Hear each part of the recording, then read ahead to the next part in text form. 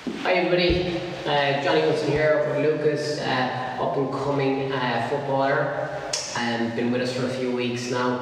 Uh, so I'm bringing something new on. him. We're here at the Fitness Collective, uh, great studio in West Bridgford. Look, I'm plugging it because it's a great place, um, and they're, they're great guys as well.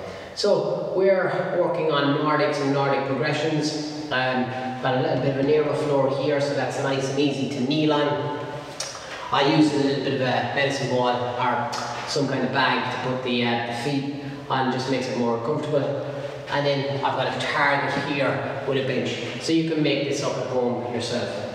I'm going to use a resistance band with Lucas today. He's going to put it around his waist and then we'll see if we can give him some assistance um, on the way down. So I'm looking for some control. So we're working on hamstrings, eccentric motion. Eccentric means lengthening of the, the hamstrings. So uh, really good exercise. Some of the, from an outcome measure, we look for three sets of 10, all the way down, all the way up. So all the way down is your eccentric contraction, you have a period of amortization, which means you're not moving, and then your concentric um, contraction is getting all the way back up. So, um, building um, uh, bulletproof hamstrings. There's no such thing as bulletproof. You know, can, anybody can get injured. So, Lucas, um, do you mind kneeling on?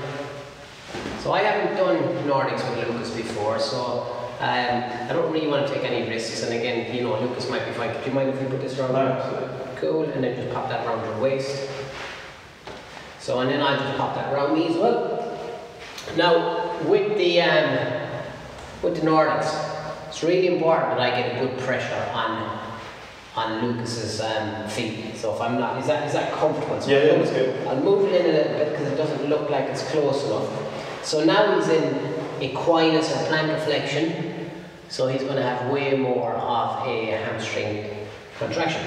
So what I'm going to do here is I'm going to get nice and close and personal and I'm going to put the same weight on both of his ankles. And it's really important. My job is important here. My job is as important as, as Lucas's. Now, Lucas, the band is going to help you a little bit, all right? I want you to go as far as you can to the bench. See if you can touch. Try not to use your hands. I want you to get down as far as you can and then back to me and let's see if you can do that six times. Okay. Okay, where you go? And a band might be a bit too much here. And then back up. Good man. So he's feeling the band, you know, the tension's really coming on. How do you feel about that, Lucas? Yeah, that's fine. Okay, put your hands over your chest. He's gone, he's gone, he's going for it here, really, like. Okay, where you go? You feeling the band kicking in? Uh, not as much, no. Okay, cool. Can you touch your chest off that? You Oh, keep, okay, you keep your hands there, yeah. Get as far. Target, target, target. Up. Good. Three more. So again, I'm getting an idea of where he is. He's got a little bit of control there. Losing it at the end, and then the resistance band gives him that little bit of extra assistance. How are you feeling there? Very tough. Okay, cool. Now, if it's feeling too much, I could come back a little bit, give a little bit more resistance. If it was too easy, we could take away um, the the, ta- the uh, bench there. We're going to try it now, okay? A little bit of recovery, not too much. We're going to try three without the resistance band. So I'm pretty confident that he's got good control, good strength, he's able to get down, he's able to control that. You can use your hands a little bit to push yourself back up if you need to, okay? So just keep your hands out in front. How are you feeling? Uh, okay. Yeah, are you happy to do this? Yeah. Are you sure? Uh, Okay, excellent. So important that the athlete knows that he's at the centre as well.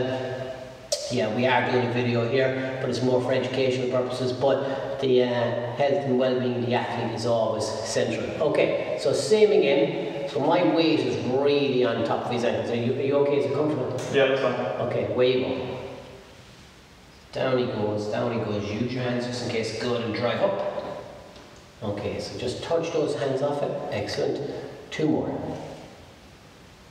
So really working hard for these. So he's not going to go any further than that really. And I don't need him to fail. I don't need him to go to the ground here. What I want is control, two thirds of the way. One more time. So I want this control here. And eventually, we can change the bench with something, thank you Lucas, we can change the bench with something a little bit lower. So we can decrease the length of that. But you can see how you need that partner there. People use NordBords and other pieces of equipment which are brilliant and they give you some outcome measures and they give you some numbers with regards to, to uh, how strong the right and the left is. Um, but an excellent exercise um, off season, in season, um, during the COVID period. Um, the research is there to say that it helps reduce the uh, risk of future injury, especially if you've had a hamstring injury before. And if you have had any type of ACL injury um, and you've had a hamstring graft, well then this is certainly one of the exercises of choice. So with all, all our athletes, we, we, we strongly recommend this is an excellent exercise. So if you're looking at uh, help with the hamstrings, high speed running, Nordics, and maybe some windmills, some single leg dynamic stuff, um, I'm sure you're, you're on the right route if you're doing stuff like that. So hope you enjoyed the video guys.